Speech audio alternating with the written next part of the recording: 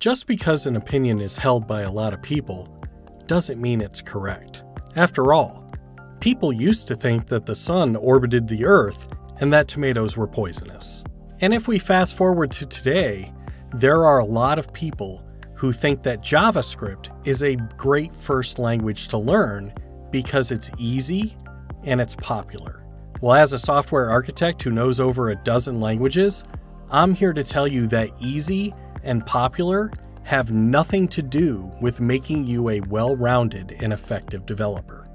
I'm Eric Wise from Skill Foundry, and I have helped thousands of people launch their coding careers by teaching them to code the right way.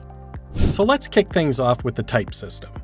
In most programming languages, you have to be specific about what type of data you are trying to use. Is it numeric? Is it text? Is it a true false boolean? And so forth.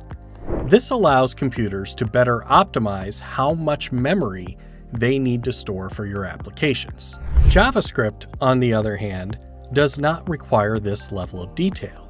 And this is one of the reasons why people point to it as a good language for beginners.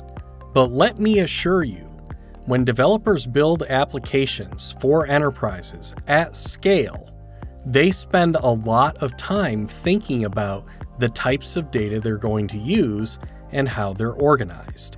And skipping this means that people who learn JavaScript as their first language are usually unprepared to transition into other languages that require that level of pre planning and detail.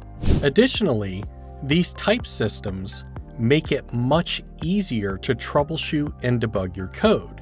There are situations in JavaScript where you might misspell something, and JavaScript thinks that you're just creating something new, and that's fine, and it just rolls along without errors. This is not the same as other languages like C Sharp, Java, C++, and so forth.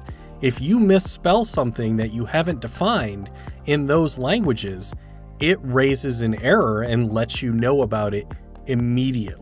The lack of good code organization is the second reason why I don't recommend JavaScript as a first language. You see, when you're coding JavaScript and learning it for the first time, a lot of the tutorials and exercises that you go through, you just embed the JavaScript on the same page with your web page and your components, and you don't spend a lot of time separating your concerns, organizing your code, and reusing things. This is completely different than how the back end of enterprise applications work.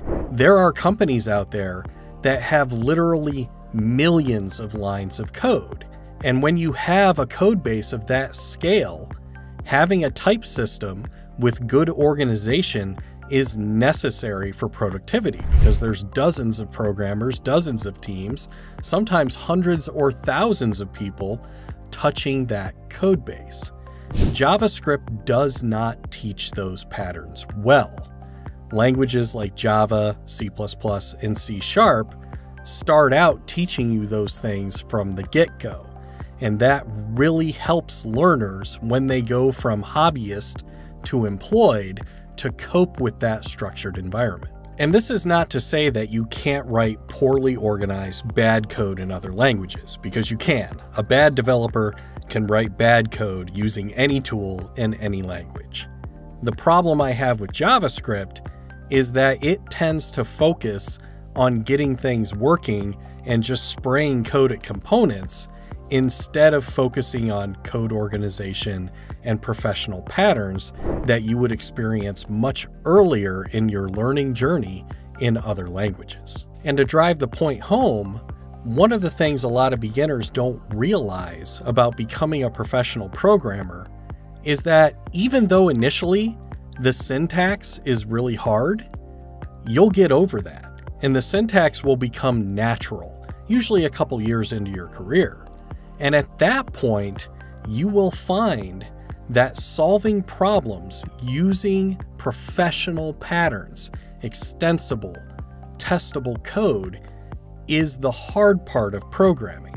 So the earlier you can get started thinking about organizing and structuring your code like a professional developer, the easier time you are going to have in the early stages of your professional journey. Now, third, we have to talk about frameworks. You see, JavaScript developers rely heavily on frameworks to build their applications. Two of the more popular ones are React and Angular. And the problem I have with this is that so many people, instead of focusing on core language concepts, they very quickly jump into using these frameworks. And these frameworks hide a lot of what is happening. They're very convenient, they're very powerful, and that's why they're popular.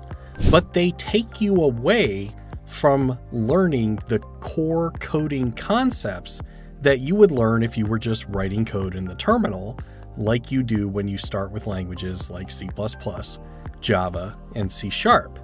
And what happens is you run the risk of becoming a framework developer instead of a software engineer. And that's not a mm-hmm. good thing. The more that you understand about the core concepts of languages and the more you can do without third party frameworks, then the more effective you will be when you inevitably find places where those frameworks fall short. And speaking of frameworks, one of the things that really amuses me in recent years is that the latest versions of Angular use a language called TypeScript. And TypeScript is a language that was invented by the creators of C Sharp. And the reason it was created is because enterprise applications were really hard to build without type checking systems.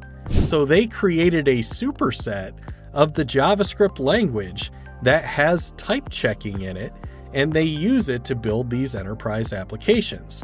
So even the JavaScript community, a good portion of them that are using TypeScript and love TypeScript for enterprise applications, are admitting that there is a shortfall in the JavaScript language and that building things professionally at scale benefit from a type system.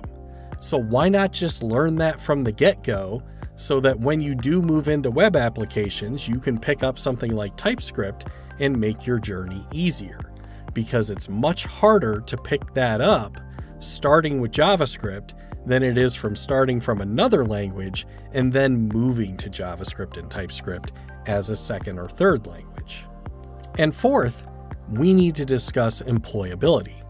You see, in 2023, where there's been a pullback in hiring, especially on the entry level side, you do not want to be a JavaScript only developer.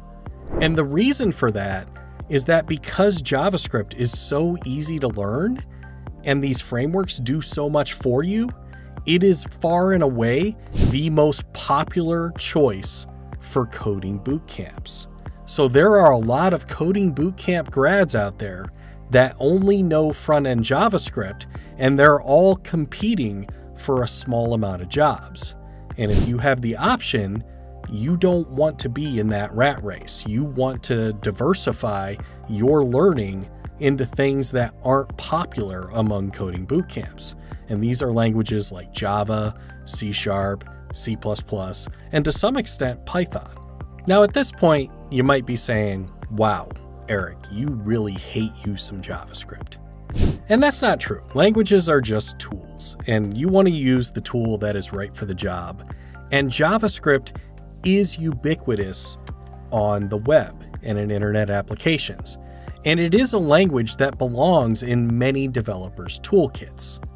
However, all the downsides that I've mentioned in this video lead me to tell people that you should not choose JavaScript as your first language. It is a great second or third language, but in 2023, I don't recommend you start with it. If you instead start with a programming language that teaches you good fundamentals, code organization, and a type system, you will have a much better first step into professional programming. Happy coding!